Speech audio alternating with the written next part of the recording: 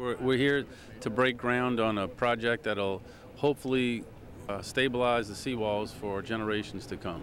What kind of an impact will this have on uh, flood control in this area? Well, uh, what we're going to do here is hopefully going to stabilize the seawall to make sure that it remains in place and is able to break the wave energy from future events and really just a, a north uh, storm during the winter. We're going to start the repairs of the seawall, which are long overdue. It's uh, almost a $20 million project. I think it's very important. The, the seawall was really the city's first significant commitment to flood protection. And back in the in the 20s, when they started thinking about it, I guess it was completed 80 years ago, uh, and it served us well. It it, it needs work. Uh, almost every not almost every storm that that comes in the lake uh, washes over the top of the seawall, creates a lot of erosion, a lot of problems, and uh, this project will will prevent that from happening in the future. What we're breaking ground on today is part of a three-phase project. The First phase, uh, all three phases actually, will run in the neighborhood of about six million dollars. But what it'll what it'll protect is the seawall that is behind us here. Uh, right now, every time a storm blows in, even in, in winter storms, storm blows the lake water over the seawall, hits the dirt behind the seawall, and washes all of that dirt onto Lakeshore Drive, making Lakeshore Drive impassable for weeks and costing tens of thousands of dollars every time to clean up the, the debris.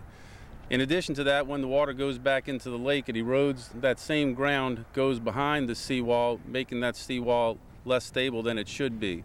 This is the first flood control project built for the city of New Orleans.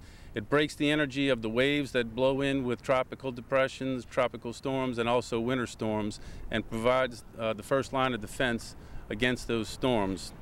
So we hope that with this project and the two that'll come up behind it, we'll arrest the, the problems that presented to us by the lake and also uh, make Lakeshore Drive and as Robert said, the entire lakefront usable by the entire community. That's a, a big part of you know living with water, uh, just as the Dutch do. That's a big part of what we hope to do here today. But this is an incredible project here. Not only what it's doing flood-wise to protect our seawall and uh, the erosion behind it, but it's great to see that this group has had the foresight to understand that this is more than just flood protection.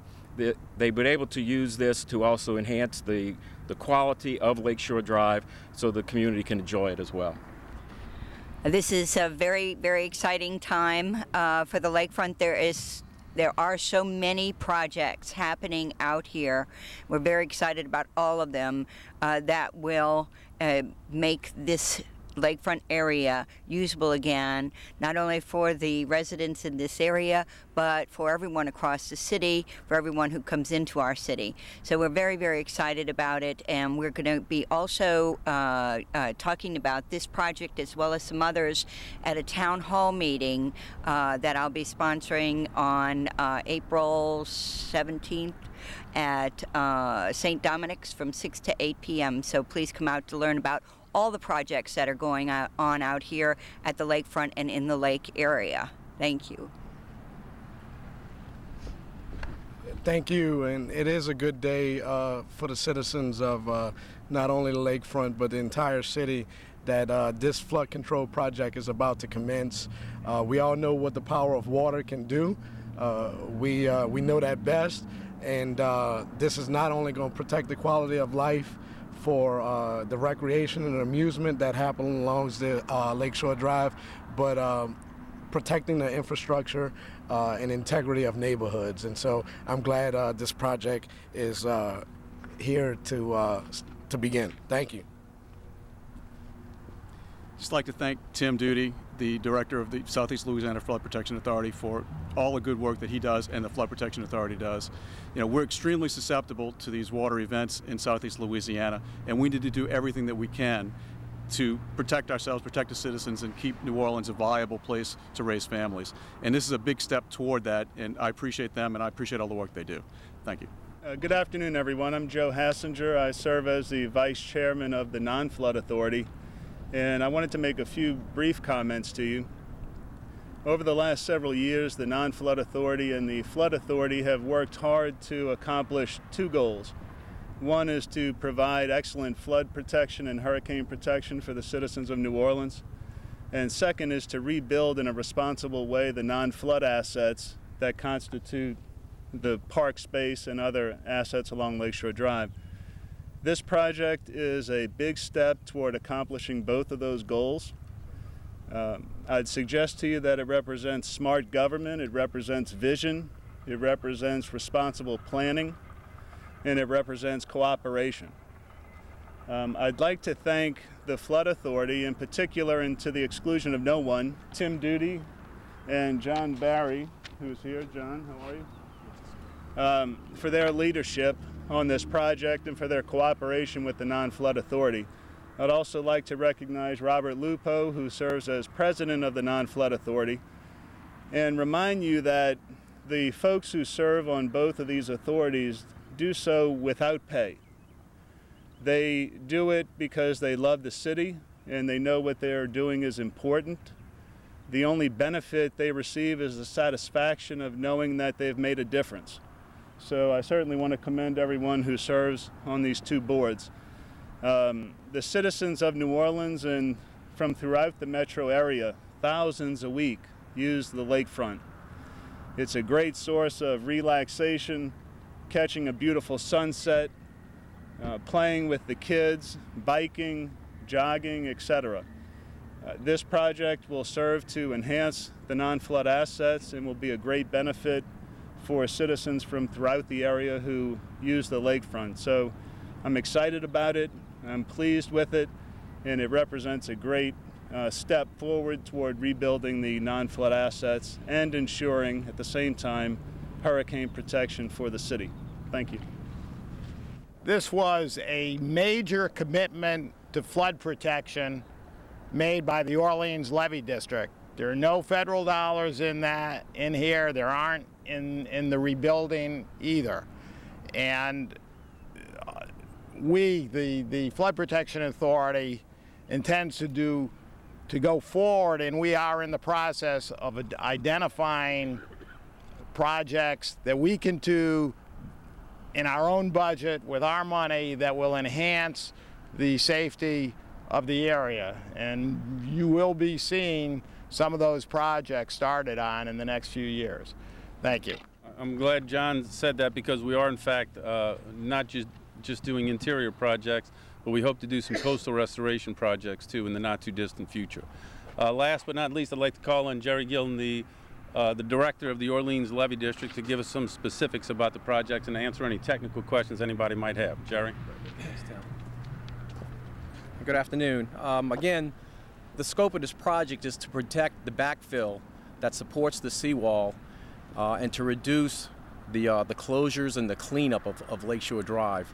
Um, In-house at the Levee District, we kind of refer to this as our Groundhog, Groundhog Day movie. Um, seems like every time we clean up, the very next night there's a northern front or a tropical storm, and we're right back at it the next day. And uh, it's been closures of, of Lakeshore Drive for extended periods. So hopefully this is the first phase. Um, this first phase here, which is approximately 3,900 linear feet at a cost of $6.2 million, uh, should take care of uh, this worst area down here on the west.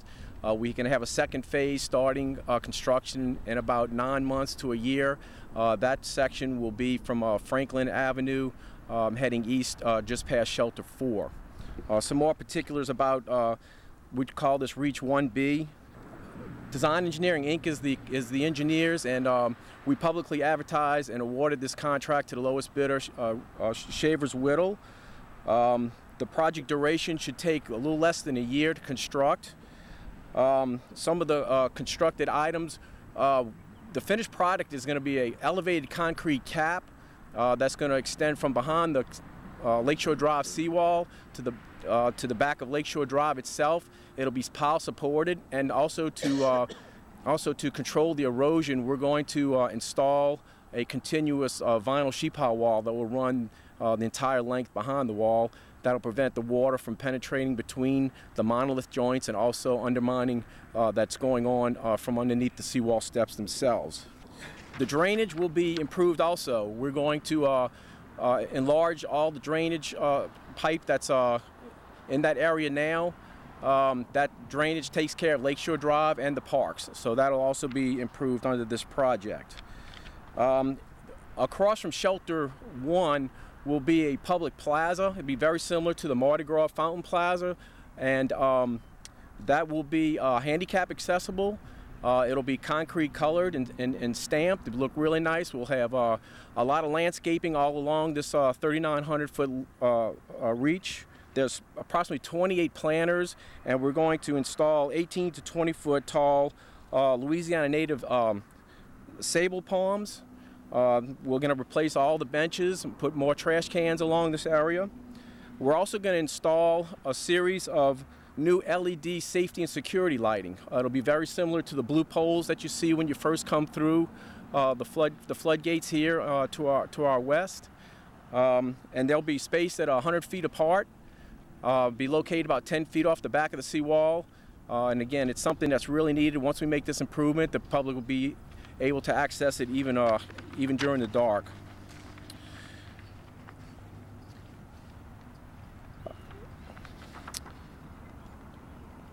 I think that's really about it. Um, again, um, we're going to, uh, as far as pedestrian use, uh, we're going to have a series of concrete bollards, continuous bollards, that's going to separate the vehicle traffic from uh, pedestrians uh, using Lakeshore Drive uh, to this improved area.